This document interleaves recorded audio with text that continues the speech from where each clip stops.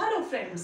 welcome to study track आज की इस वीडियो में हम देखेंगे class tenth social science economics chapter two sectors of Indian economy का एक another important topic how to create employment opportunities last video में हमने देखा what is disguised unemployment and why is it harmful हमने देखा कि भारत की जो प्राइमरी सेक्टर है उसमें डिस्गाइज्ड अनएम्प्लॉयमेंट पाया जाता है। It is a situation in which people are working but they are not working according to their full potential तो उसका सॉल्यूशन क्या है? To create more employment opportunities Bharat की सरकार भी यही करने की कोशिश कर रही है। तो देखते हैं कि वो कौन से तरीके हैं जिससे एम्प्लॉयमेंट अपॉर्चुनिटीज़ को बढ़ाया जा सकता है। तो उसमें जो फ़र्स्ट स्टेप है providing inputs to small and medium farmers what is the meaning of the term inputs inputs means those things which are useful for agriculture for example high yielding varieties of seeds for example irrigation facilities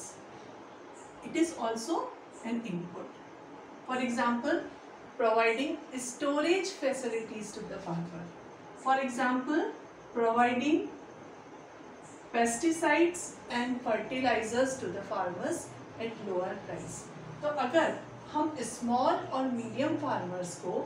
inputs provide करेंगे जो कि उनकी agricultural production में help करेगा तो this will increase their income and they will be able to earn more इसका second step है development of infrastructure infrastructure means which provides a foundation for development अगर भारत की सरकार इंफ्रास्ट्रक्चरल डेवलपमेंट में invest करे for example construction of roads for example construction of canals for example construction of buildings और bridges or construction of schools or construction of banks, और construction of hospitals ये सब infrastructural development है।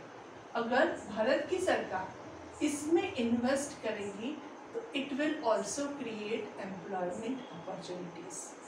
उसका third point है in order to create employment opportunities